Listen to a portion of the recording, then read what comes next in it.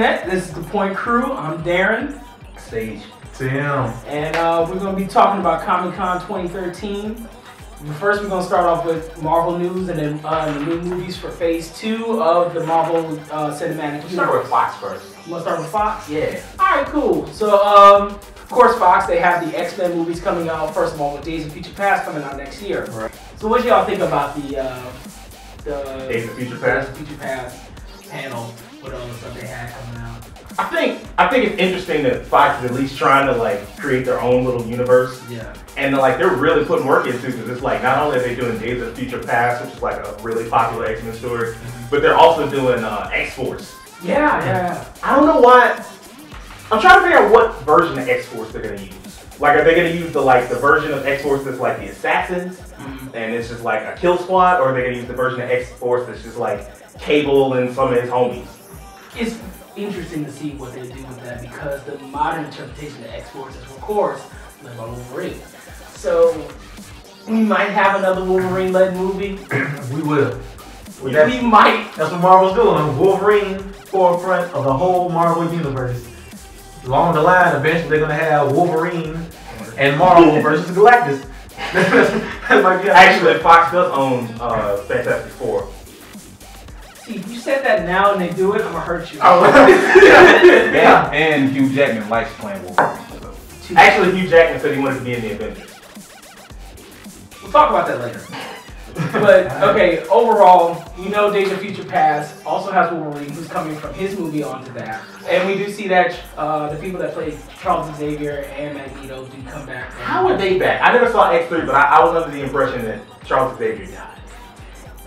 They have to explain that, and they're gonna pull something out the ass. I don't know what it's gonna be, but it. You know what? X Men retcons are abundant within their continuity, so something's gonna happen.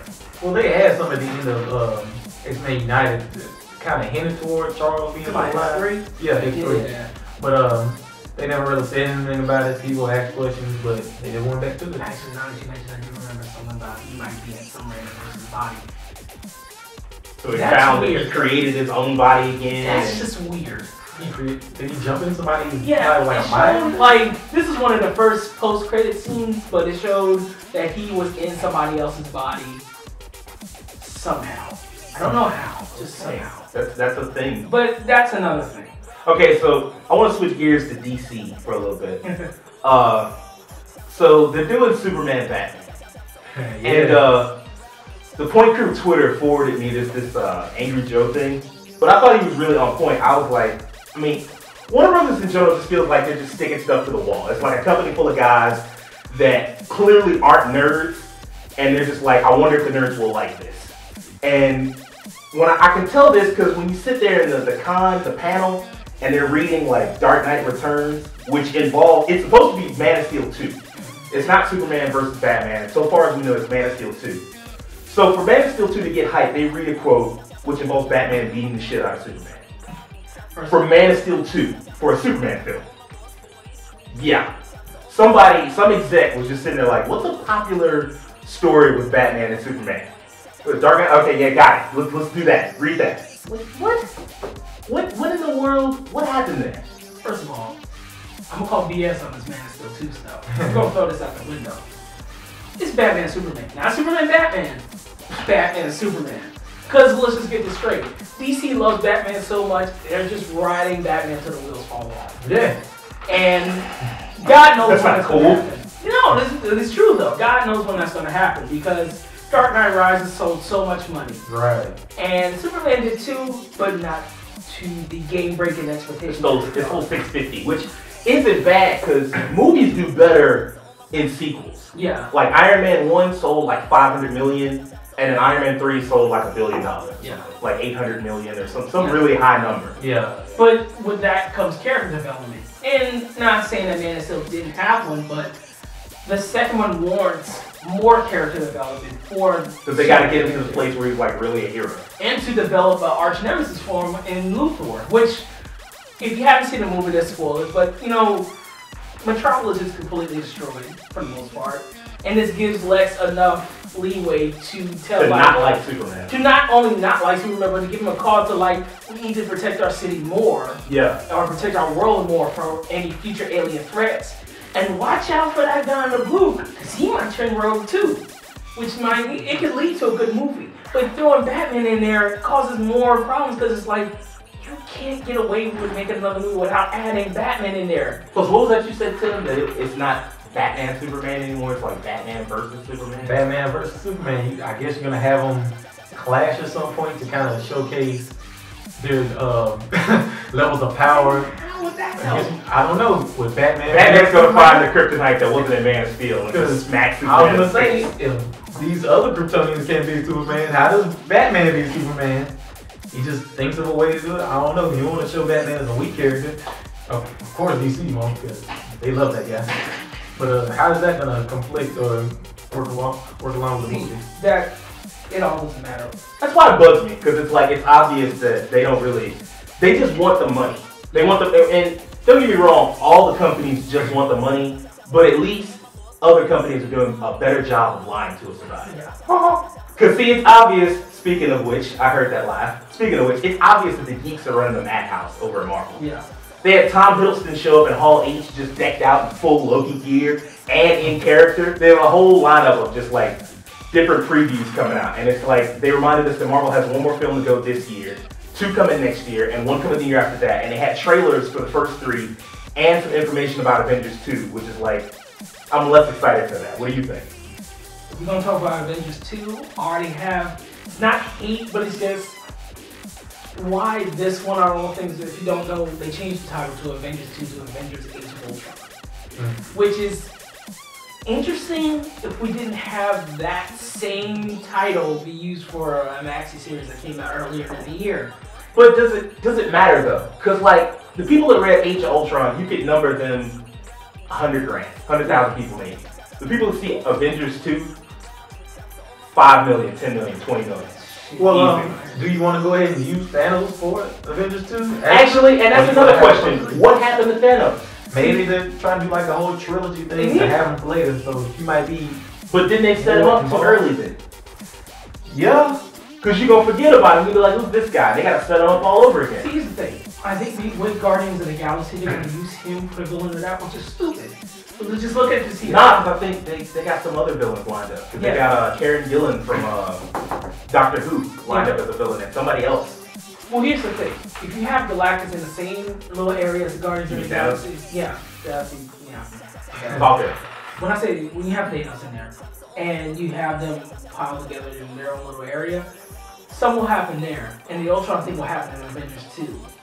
And you already, they already established they're gonna have an Avengers 3 and Phase 3. Why not have your Infinite Gauntlet Operation Galactic Storm kind of thing happen in Avengers 3 to lead up?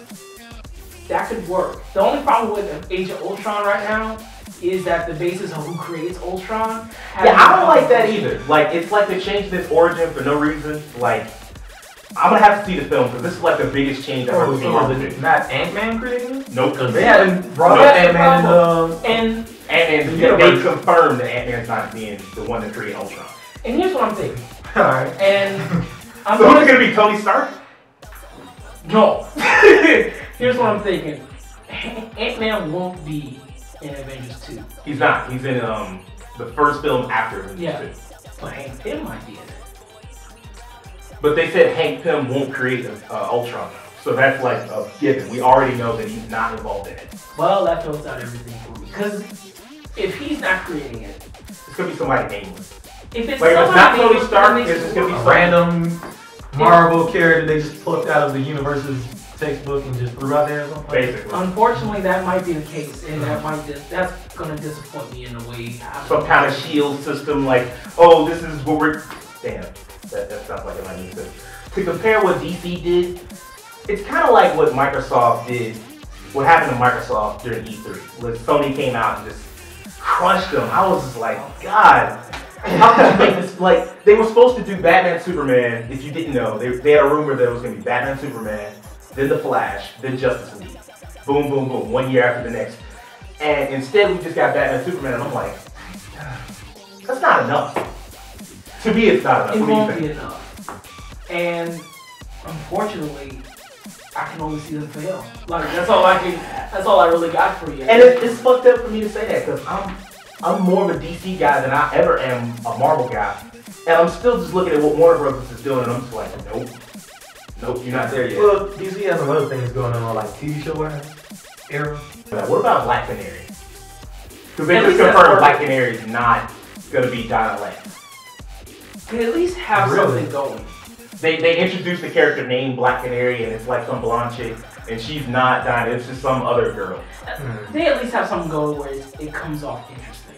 That you're if it was Diane Lance, I would have been guessing like, how the hell does that happen? Well, I mean, like they have they have a time skip happening.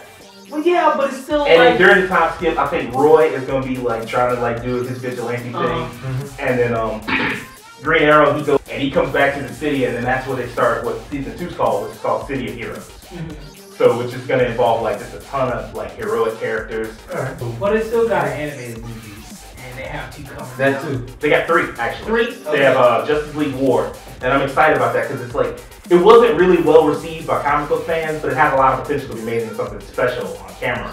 Kind of like uh, Under the Red Hood, because people didn't like that in the comics, but we saw it, Yeah. and it was amazing, right? Yeah. It, it I don't know, maybe because it was just by itself, it didn't depend on continuity. It came out better. And this will have the same benefit. Yeah. And then I'm also hyped about. Uh, they have two other films coming out. They're both Batman next year. Uh, there's Arkham something.